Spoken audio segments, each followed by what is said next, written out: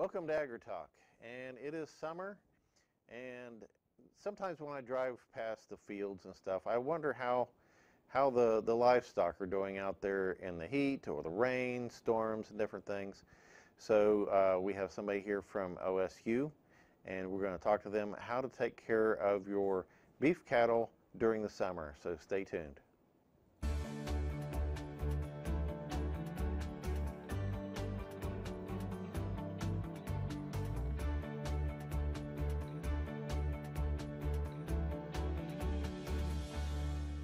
Hey, glad you could stick with us. And uh, Duane Rigsby and uh, the guest is at the South Centers. Tell, tell us who we, you have down there with you.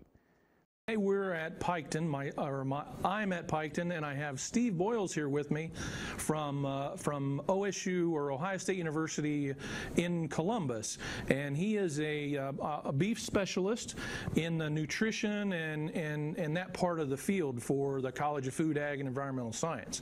Steve, welcome to the show. Uh, I appreciate you taking the time to uh, meet with us and give us a little bit of information.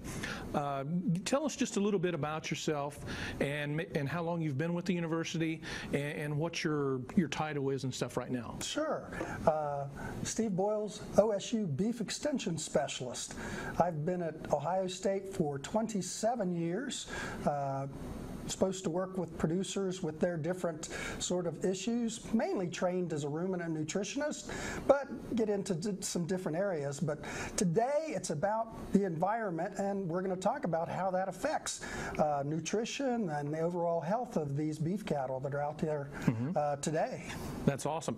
And, and, you've brought some slides with you, so uh, yes. uh, you know, with no further ado, let's talk about these and, and uh, let's see what we've got. All right. Well, nothing like something simple. Let's start right. off with a little bit of physics. Yeah, that's quite a math problem you have there. Yeah. And really, it's about maintaining body core temperature. If you think about yourself, uh, one of those things is radiation. You stand out in the sun, you're going to get warmed up. Mm-hmm. And then, well, it's called conduction. If you're standing on a hot surface, that's going to affect how you're going to feel about uh, the comfort of the day. Um, let's say one of the things we'd like to do in the summertime when it's hot is go to the swimming pool. Well, there's conduction there with the cold water, but when you get out, you're even cool because that water starts evaporating off of you. And then uh, the one thing that keeps us warm, we're not snakes, is we can maintain our own heat production or body core temperature. So our own heat production is also part of comfort of our body core. Also, what we're wearing also affects how hot we're going to be, and even the color of our clothing. Uh, if you wear a white t-shirt, you're probably going to be cooler than if you wear a black t-shirt. That's just that absorption. And this slide right here just shows a different coat color and how they're better suited to different environments. That white coat color is going to reflect more of the light, uh, whereas a black coat color is going to absorb more of that light and turn it into to heat. Not to say you can't have black cattle in hot environments. Uh, also, uh, the uh, characteristics of that hair coat on the cattle. Uh, if you work in the farm industry, you're going to notice cows get kind of furrier or hairier in the wintertime. That stands out from the body. Whereas in the summertime, they lose that winter coat and it becomes quite smooth and therefore easily, more easily reflect that light to handle the heat that is of, of a time in the, uh, in, uh, in the summer. Emissivity is just what sort of, think about the surface you're standing on. Uh, cattle can get really, really hot on concrete and we have to make sure we check those animals frequently or get them off the concrete. Whereas if they're on grass, that's much less stress on those animals uh, where they're standing out in some grass. In fact, if the grass is a little bit taller and hiding the soil or hiding the dirt, that actually makes that overall cooler for the animal versus standing on ground that doesn't have a lot of grass on it. That can get rather warm too. So producers need to realize that. Not only the animal, but that environment that they're currently existing in uh, and the environmental temperature. We actually have three layers of insulation. I'm talking about we, but cattle the same way. First thing we have is that tissue insulation. We have the skin. There's fat along with that skin. So that's insulation to protect us, help keep us warm uh, in cold weather. Also, we have external hair or fleece that is there to, depending on the environment, you think about sheep, uh, th- that's good to have that fleece in the wintertime as a heavy duty insulation. It can work for a little bit in the summertime, but eventually they want to shear those animals to remove that sort of insulation.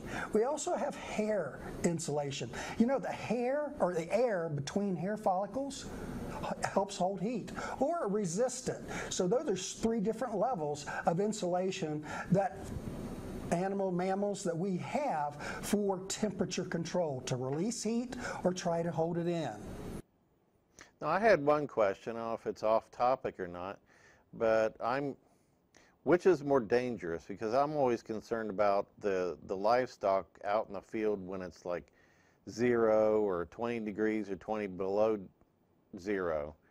Is the heat worse or the, the extreme cold? Probably heat is uh, probably more difficult for, for animals, uh, even for us, in all honesty. You can always put on another coat in cold environments. Whereas in the hot environment, you literally have to change your environment, air conditioning is what we would use. Whereas the cattle out there in that the environment is what it is. So in the cold environment, uh, we just talked about hair coat. It will change uh, to a rougher hair coat uh, to, for insulation. And actually, they actually the heat production I talked about, uh, they are able to create a lot of heat in, in inside. They have what I call heat of fermentation. When you feed hay to a cow, well, the cow doesn't digest that hay, it's actually the bugs inside, and that's a big fermenter.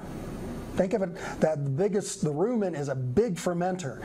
And if you feed them a bunch of hay, even a blizzard, it'll probably melt off the back of their, their bodies because of the heat of that fermentation process. So appreciate that question. But yeah, uh, heat is the one I probably pay more attention to. In cold, if I can get them out of the wind, and normally here in southern Ohio, if cows are calving in January and February, it's not unusual to calve them out in uh, out in the open, not in a barn. But I want, what I want them is on the south side of a hill or ridge, out of the wind. And, does and they will then- gather Uh, together. and think- You go ahead, Mike, sorry. Yeah, they'll gather together, I think, and stand in clusters to, to maintain some heat too, I think. Right, yeah. uh, you- uh, They tend to, when there's cold or rainy, seems like they do cluster a little bit out in the field. Do, do, um, when you said check them for temperature back on a, on a couple of slides, how do we do that? Is there, I mean, other than uh, you go out and feel them, do you have a tool? Should we, I mean, what is that? Uh, I know there's little guns and things that's like infrared things. I- Is that what it is, or is there something else? No, I literally just just checked the temperatures. Okay, just Uh, outside. Yeah, if, if, if it feels hot to you, it definitely feels hot to a cow. And Mm-hmm. the opposite, we were just talking about cold. Uh, for them, 40 degrees is great. Yeah. Uh, they're not stressed at all at that temperature, Mm-hmm. whereas they can get hot perhaps sooner than we do. So, by all means, check that temperature. And whereas you, you mentioned that gathering together, Mm-hmm. they've probably found a place where there's not a lot of wind, Yep. and so they're going to gather up. Whereas I'd expect cattle that are in hot environments, they might gather up underneath a shade tree. Yeah. yeah. But they're also producing heat off each other. Yeah. Mm-hmm. So that's not a great thing either. But uh, they're- they've chosen the, the shade versus uh, Yeah, right. fighting away from uh, their temperatures. Right. So in hot, they may spread out Right. to get away from each other. Okay. Back Or to they our could slide. stand Or in a ahead, pond, Mike. I, sup- I guess they could stand in a pond also.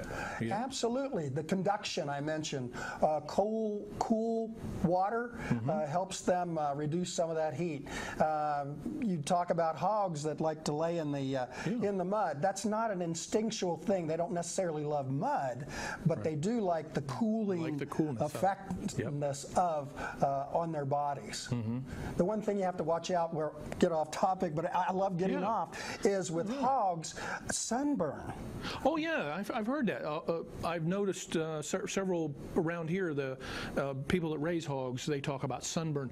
White, uh, white hogs especially. Yeah, very much more sensitive because of the quote unquote the, pigment. fair skin, the Yeah, mm-hmm. pigment. Uh, so you have to make sure that uh, they don't get exposed to too much sun. Or, or in fact, with hogs, uh, some people would use snow fence uh, as shade, and, and I don't mind that with cattle. Yeah. But uh, those hogs get underneath s- uh, snow fence that has slats in between. Yeah. Well, you can have some red Little striped striped, striped ones. Well, interesting. So if you do something like that, put straw or hay on top of that, Yeah. so it's not uh, that intermittent That light makes and shade. Yeah.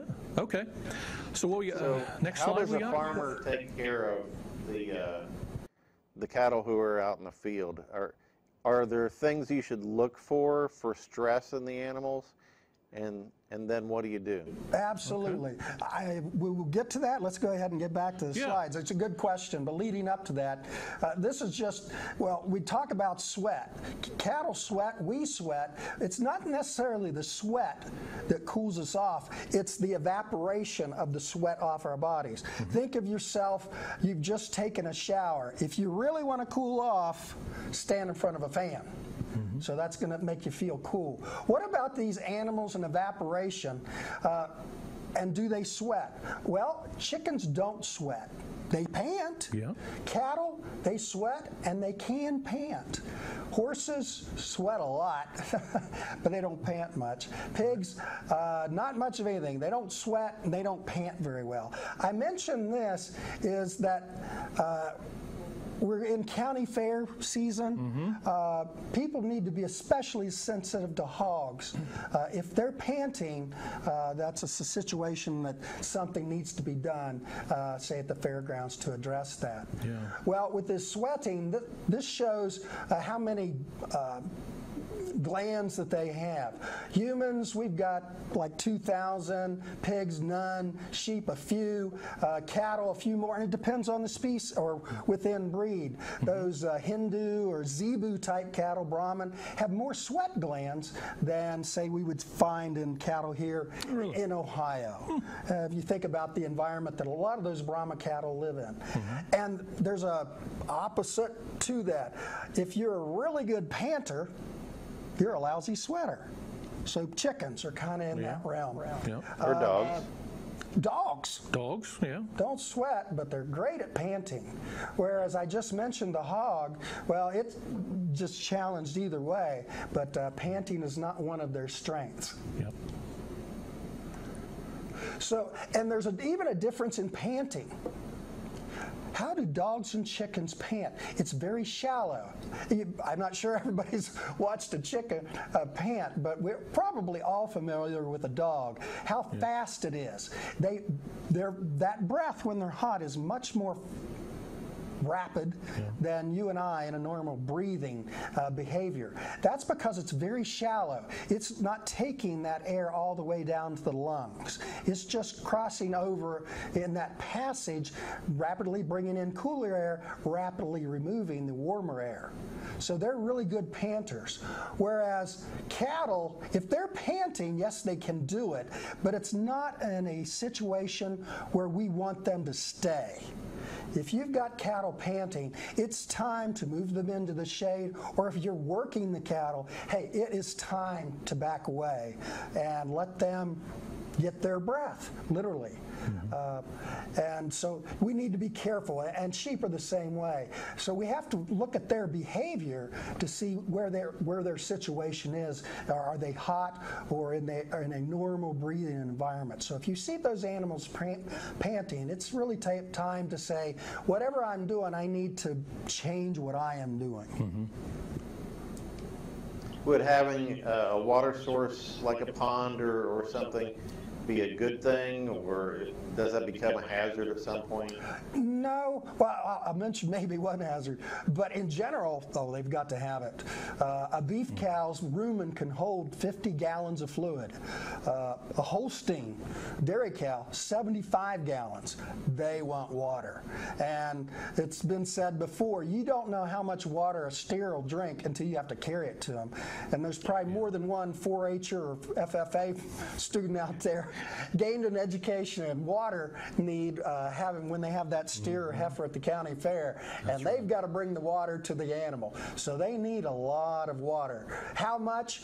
Uh, as much as you can get to them, I'm going to use that rule of how much to get there. I leave the ag engineers on uh, uh, uh, diameter of pipe. Uh, a big pipe has less friction. If you think about it, where water comes in contact with a pipe, well, there's friction there to slow down the water. So you have to think about the diameter of the pipe. Uh, but they need all that they can get. Also, just saying, yeah, I got water in the field. Is it accessible? Yeah. Uh, what if the shade's at one end of the field and it's a big field and the water's at the other end? Uh, I think those cows are going to be challenged. But we can use water as a grazing tool. I've worked with operations that have portable waters and they hook them to a four wheeler, they'll drag them to another part of the field and hook that up to plastic pipe or some plastic pipe and use that to actually move the cattle around the field because the cattle will follow the water. So it needs to be accessible. Uh, I don't necessarily worry so much about what the temperature is. Uh, I do prefer uh, if I have black p- plastic pipe and in the summertime that may be above ground, don't mow the grass close to where the pipe is. Let that grass grow over those pipes and that helps as added shade to keep that temperature uh, moderated. I can think of one situation where an animal can have much water. Uh, from personal experience, I didn't do this, but some neighbors borrowed my family's draft horses and used them to put up silage. Well, they water foundered those horses. What that means was they, they worked those horses hard and then they let them go to a water trough and drink all the water they wanted. That caused dilation of blood vessels in the legs, and that's water founder. And that permanently, can permanently injure the horse. So, if you have a really hot horse, by all means, let it have access to water. But keep that bridle on it. Let them sip, let them sip, let them sip, pull them away. Let them come up again, let them sip, but control how much water they got while they are hot. Can that same thing happen to a cow or a steer? But but but you typically don't have bridles on those. No, um, no. Can they just, when they're out in the field and say there's a stream of water, will they just drink and drink and drink and cause that problem because it's so hot? Oh, well, I'm, with the horse situation, we have controlled the access to the water. Right. Because we're riding that horse or working the horse. Yeah, we're, we're forcing him to sweat a lot Yeah, more. and not drink. Yeah. We're making that decision. Right. Whereas it's very, very hot and there's a stream running through the pasture. Mm-hmm. The cattle are likely at some point decide for themselves, I am really thirsty. Yeah. I'm getting out of the shade and go over and get water. Okay. So I've not seen it, I'll put it that Okay. way, Yeah. In cattle. And that's my reasoning why maybe I haven't seen it. Yeah, well, that makes sense. Absolutely. Yeah. Okay. So we can check to see. Uh, this is a gee whiz kind of article on energy. We often think about how much energy does an animal need. Well, this slide just shows it's different organs uh, that require different amounts of energy. Uh, the liver needs energy. I'm not sure my tongue and teeth need a whole lot of energy, but the liver requires a lot of energy and helps control thermal temperatures, that body core temperature. I've got a couple slides here on the thermal neutral zone. There is a temperature for everybody, it's different for everybody, where you feel hot. Mm-hmm. There is a temperature at the other end, the lower critical temperature, where people feel cold. I am blessed genetically to be able to maintain quite a amount of external insulation called fat. Yeah. Okay. And so I don't get cold as soon as somebody that doesn't have as much of that external insulation. But even within there, within that thermal neutral zone, the heart doesn't have to work harder uh, or we don't have to create as much energy. Our metabolism is just at basal. Whereas at cold temperatures, hey, we've got to create metabolism to help keep the body warm. Cattle are the same way. At the opposite end, animals have to create energy to help keep maintain or minimize that body temperature that's hard to do to the previous question you know where, what's more critical? We can always put on extra clothes to help regulate that lower critical temperature. It's kind of when you're hot uh, we're kind of limited what we can do to minimize that increase in body core temperature. Some of the things we can do, uh, and this is the same picture, just a different added feature. Uh, at lower critical temperature, metabolism goes up. At upper critical temperature, metabolism goes up. What can we do to minimize that increase? Not eat. As, we, as it gets hotter, animals will reduce the amount they eat. Yes, they will increase water produ- uh, consumption to help modulate that body core, but also they may reduce how much they're going to eat. And think of ourselves. In a hot environment, we probably don't eat as much as in a cold environment.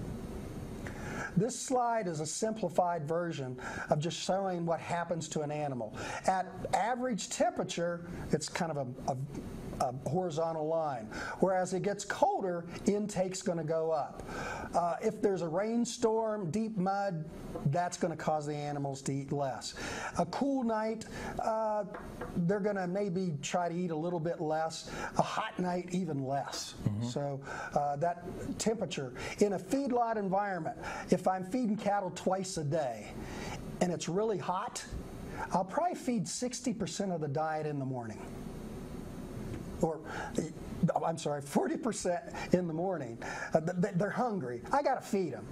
So I'll feed about 40% in the morning. Then after the heat of the day, I'll feed 60% of the diet where that heat production is going to occur, but trying to minimize it. Whereas in a cold environment, maybe I'm going to feed a lot of it uh, at another time. So we can adjust how much we feed based on how hot it is. Now, temperature also affects digestibility of forages. So let's look at forage and temperature. So temperature affects the animal. Plants behave in a different way in their growth patterns with temperature. What this shows is, this is showing the cell wall content. This is the stuff that makes plants stand up. This is not the stuff that's real digestible. Well, in a as it gets warmer, that accelerates the maturity of a plant. So at normal temperature, uh, everything's going to mature. But in a hot environment, that accelerates how fast a plant will mature. And the maturity I'm talking about is an increase in cell wall content.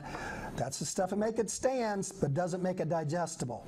So we have to keep in mind this weather that we're having right now, probably accelerating some of that maturity in the plants that we want to utilize to feed our animals. Well, high ambient temperatures, uh, this is kind of a restatement of that. Where we saw increased cell wall content in the uh, previous slide, this just shows digestibility went down. That's what we just talked about in the previous slide. That's just showing that mm-hmm. that actually does. Even light intensity affects how plants mature. A cloudy day, they mature at a different rate versus in bright, bright sunlight. So plants change even with the environment, just as animals. As the animal, uh, that forage quality changes, younger animals need the less mature product. Uh, older cows, they can handle the rougher stuff. So if I've got a choice, if I've got some higher quality post pasture on one place, I might put the younger animals there. If I've got some stuff more mature, that's where the older mature animals that have lower requirements can go. Uh, the same way, matching needs to pasture quality with crude protein. Normally, the younger stuff is higher in protein. The more mature stuff is lower in protein That way we can adjust where we feed animals. Now, how do we supplement animals? I'm starting to get questions from producers now, and this is because of earlier this year we had the uh, a lot of moisture. Uh, farmers couldn't get into the field and plant their crops. Then we continued to have moisture, and farmers couldn't get into their fields and cut their hay down. Right. So we've got lower quality forage, even that has been cut for hay. Uh, and people are starting to get their hay sampled, Yep. and some of it is of lower quality. Right. right. Now, wouldn't, wouldn't it, isn't it also going to be because of we had all the weather? Uh, did, did we not get that first cutting, like you said? So we're going to be probably short of hay this this season? Short of quality. Quality, hay. okay, quality, yeah, Uh, shortage possibly because there's some people that may only get one cutting this year. yeah. So that could be the case as well. Uh, the first wave, Yeah. Though, is uh, quality that uh, we're going to run into.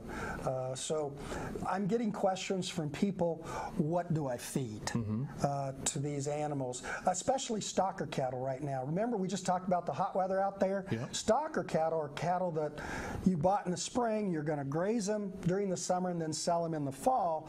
Well, the forage quality has dropped off maybe more than normal.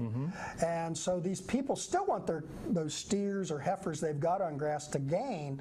Uh, so I'm getting questions, what can I do? And they're interested in using some sort of supplement, kind of uh, as these slides indicate, maybe the response that we might expect. Uh, this is showing feeding corn from zero level to 4.2 pounds. And there is an increase in gain from 1.3 pounds to 2 pounds a day. That's the good part. Now, But there's a bad part. okay, go ahead. Uh, it's the law of diminishing returns. When we fed about 1.5 pounds of corn, we got an increase of about 0.25 pounds a gain, and the feed efficiency was like three to one. Mm-hmm. Okay, okay, we've had to buy that corn. Normally we don't have to buy that, but mm-hmm. okay, I mm-hmm. bought the corn, I still got an increase in gain. Now there was feeding over four pounds of corn, I'm getting two pounds of gain but it's taking over six pounds of corn feed to get that. Can I afford to do that? Am I just putting good Yeah. money, money after bad or however that goes? Yeah. There's a limit to how much we can do with just, well, we're just going to feed corn to them and expect that's going to solve the problem. There's a limit to how much they can feed that and get efficiency. Now, Steve, I, I know you've got a lot more information to go, and w- what I'd like to do is bring you back, and Right. we, we come back and hit hit some more of it. Uh, but uh, our time is just about out for today. Yeah. Uh, but I, I'd love to, to, to continue the topic, and we'll, we'll add on to as we go. So I really appreciate your time, Mike. uh, I hope everything is is doing well over there, and um, I'll let you uh, throw us uh, throw us at the end. Okay. Well, take care of your animals and your dogs and cats and everybody who's like sitting outside. Big furry guys, they probably need to come in. Uh, and make sure everybody has plenty of water, including yourself. And thank you for watching. We'll see you next time on AgriTalk.